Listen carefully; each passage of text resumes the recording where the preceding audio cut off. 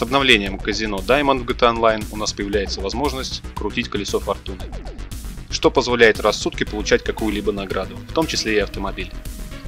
На самом деле автомобиль получить очень сложно, потому что всего лишь раз в сутки мы можем крутить данное колесо, но есть и другой вариант.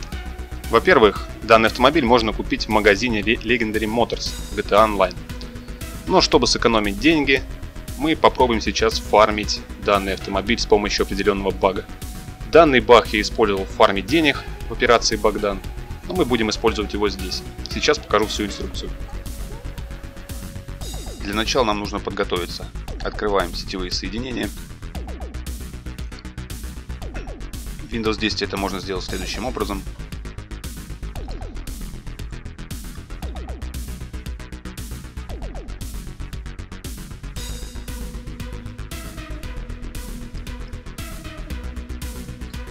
Настройки параметров адаптера. То есть нам нужно наше сетевое подключение. В моем случае вот оно. Далее нам необходимо перевести игру в оконный режим.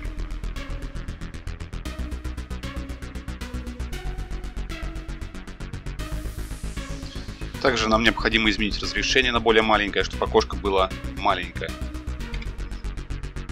Чтобы было видно и окошко игры, и параметры адаптера. Вот как-то так. Ну что, будем пробовать.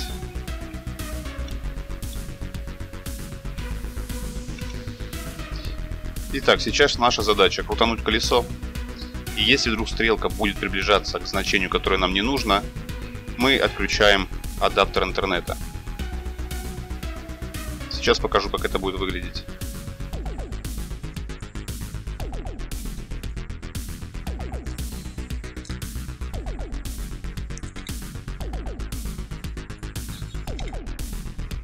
И так мы можем поступать неограниченное количество раз, пока автомобиль нам не выпадет.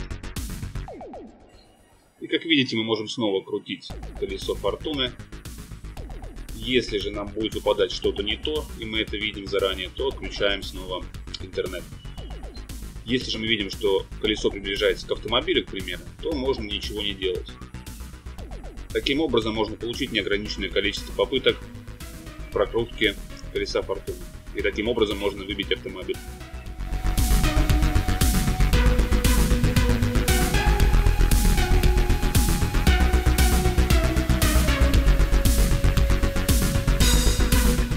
А можно сделать и еще проще.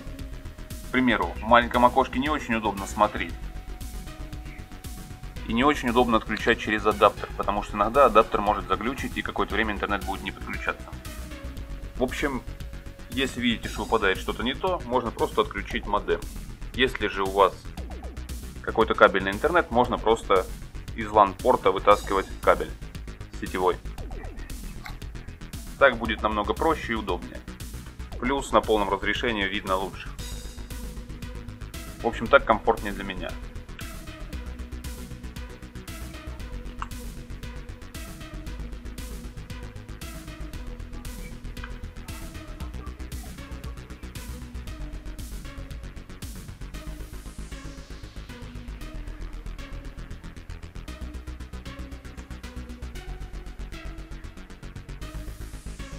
Вот так. Просто выдернул модем.